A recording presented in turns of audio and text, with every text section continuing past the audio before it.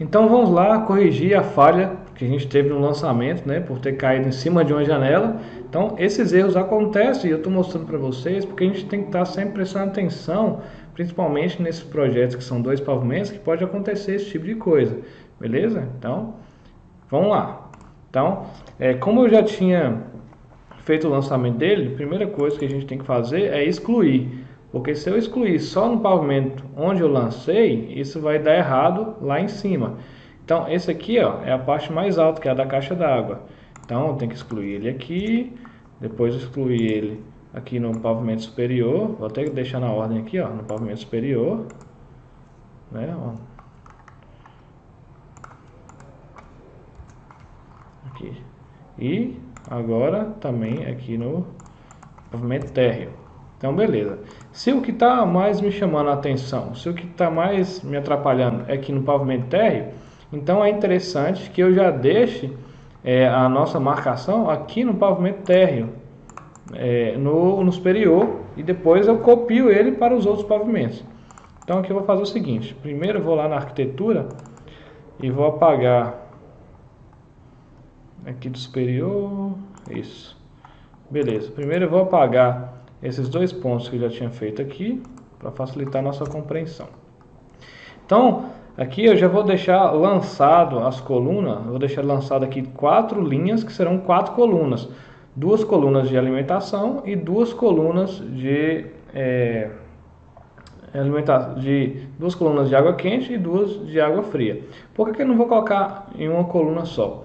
Porque é, pode, a gente pode colocar assim um, um, uma, uma coluna só e entrando para o é, o banheiro, depois ela com o registro, depois ela descendo lá e entrando para outro registro. Tem dessas duas formas, mas eu não vou trabalhar assim, vou preferir trabalhar com duas ligações separadas, que aí a gente é, deixa mais separado cada ambiente, sabe? Isso é um, um, um jeito que eu gosto de trabalhar, né? Se você achar mais necessário, mais oportuno trabalhar dessa outra primeira forma que eu falei, é, é fica a seu critério, beleza? Então vou fazer aqui, ó, essa linha aqui, uma linha, depois outra linha, depois outra linha, outra linha, aqui outra linha.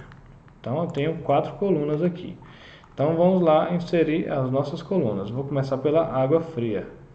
Então lançamento, vou colocar aqui água fria, lembrando de colocar na altura de 300, né? É, coluna, vou colocar na primeira aqui, ó. F1, não. PA para zero, não. A outra aqui, não. Deixar para baixo aqui. Agora vamos colocar as colunas de ó, salvar, sim. Colocar as colunas de água quente agora. Ok, água quente. Então, 300, coluna. Uma coluna aqui, ó. Não. E a outra coluna aqui. Não. Agora sim. Agora vamos copiar essas colunas para os outros pavimentos. Então, copiar as colunas para os dois outros pavimentos. Ok, então olha como é que ele fica. Então, se eu for lá na parte da caixa d'água, as minhas colunas estão todas aqui, ok. E também no pavimento térreo, eu tenho todas as colunas que estão chegando aqui também. Beleza? Então, se você quiser dar sempre uma conferida aqui no 3D, né, é, lá na questão de colunas, ó, lá na parte de trás, que é a parte dos banheiros, Olha as colunas chegando aí, ó.